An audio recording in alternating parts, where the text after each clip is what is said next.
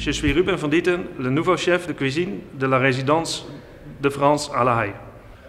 Na jaren gewerkt te hebben als uh, restaurateur chef de cuisine in mijn eigen bedrijven, uh, is het tijd voor mij geweest om nieuwe uitdagingen aan te gaan en te onderzoeken wat er nog meer voor mooie posities zijn in de culinaire wereld. En dat heeft mij op deze prachtige plek gebracht in de ja, fantastisch gerenoveerde Franse residence van de ambassadeur. Het is, het is een uitdaging om twee werelden, de Franse culinaire wereld en de Nederlandse identiteit, uh, samen te brengen uh, voor belangrijke gasten. Alle officiële gelegenheden die uh, gaan plaatsvinden in de residence van de ambassadeur.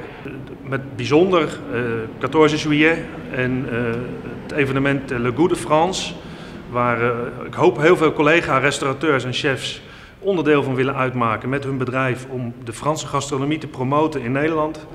En uh, daar doe ik natuurlijk uh, zelf ook uh, heel erg mijn best voor.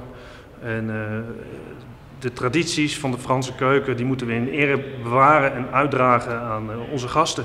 Ik heb een klein signatuurgerechtje gemaakt voor u. Een traditioneel Zeelse oester. Vermengd met Franse invloeden in een klassieke beurre blanc. Alleen met weer wat Aziatische tonen. En dat is een signatuurgerecht wat ik eigenlijk overal waar ik gewerkt heb met mij mee heb genomen, continu verbeterd tot wat het nu is.